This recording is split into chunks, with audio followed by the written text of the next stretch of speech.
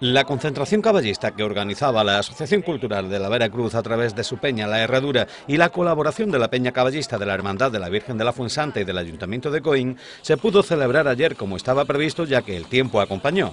En esta decimotercera convocatoria, unos 200 aficionados al caballo disfrutaron de los actos organizados. El día comenzó con el tradicional recorrido por las calles del centro del municipio para concluir la jornada en el Parque Periurbano con un almuerzo de convivencia, entre otras actividades. Esto tiene mucho trabajo.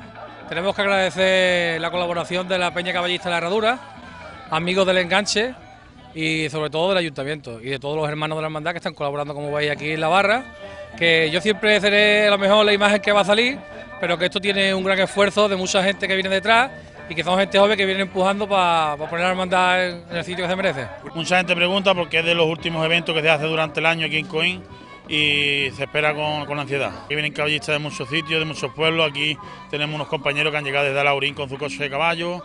Viene gente de Zalea, de Pizarra, de Málaga, de Fuengirola.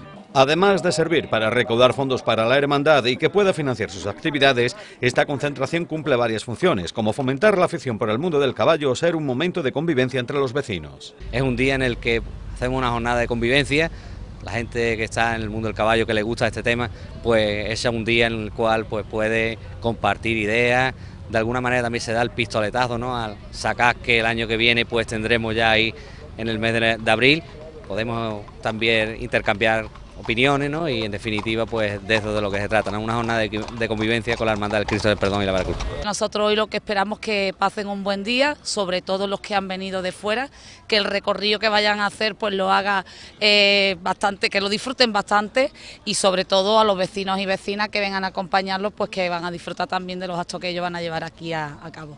Numerosos aficionados al mundo del caballo, tanto de Coín como de otras localidades del Guadalhorce y la Costa del Sol, se reunieron en este encuentro caballista que cada año cuenta con una asistencia notable. Casi siempre voy en la cabeza con una de las banderas.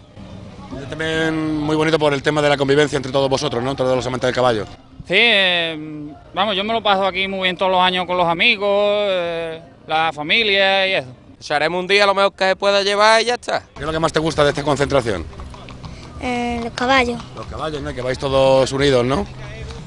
Sí. La expectativa que tenemos de ser un día bueno y bonito con la compañía de todos los caballistas de Coín, de gente de fuera y de todos que vengan a acompañarnos. Es un evento que ya tenéis los caballistas en el calendario marcado, ¿no? Sí, ya se lleva haciendo unos pocos de años y esperemos que se siga haciendo muchos años más.